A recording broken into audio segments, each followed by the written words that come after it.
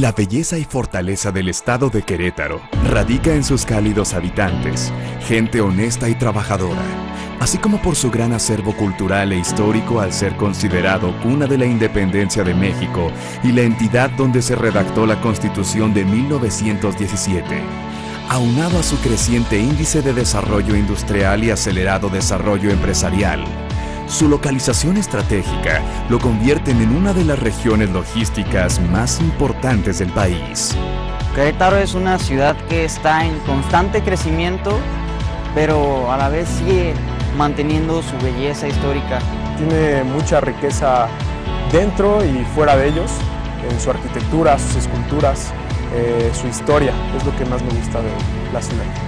Por lo mismo, la inversión en infraestructura continúa y con el objetivo de nutrir la competitividad y la productividad de todo nuestro país, el gobierno de la República llevó a cabo la construcción del macrolibramiento de Querétaro, centenario de la Constitución, obra que beneficia regionalmente y de manera directa a los municipios de San Juan del Río y Querétaro.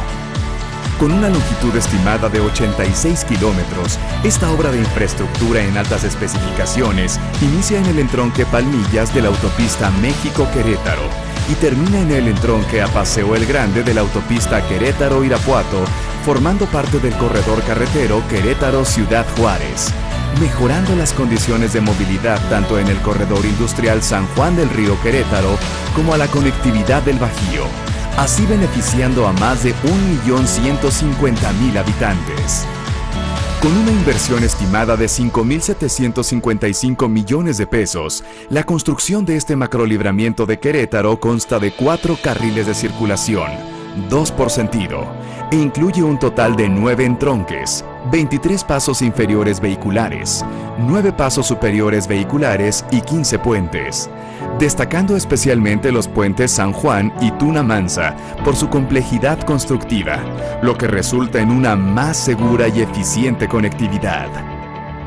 Asimismo, los 13.200 vehículos que transitan diariamente obtendrán ahorros de tiempo de recorrido de 60 minutos, acortando significativamente los recorridos entre la zona sur del Bajío, los Altos de Jalisco, Celaya, Irapuato y Salamanca en Guanajuato, y la zona metropolitana de la Ciudad de México.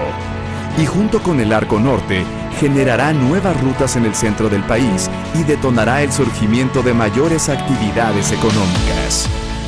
A mí como transportista, macrolibramiento me, me ayuda en reducir tiempos a mi destino como Celaya, Irapuato, León, que es donde yo más circulo. Pues es un ahorro de tiempo para nosotros.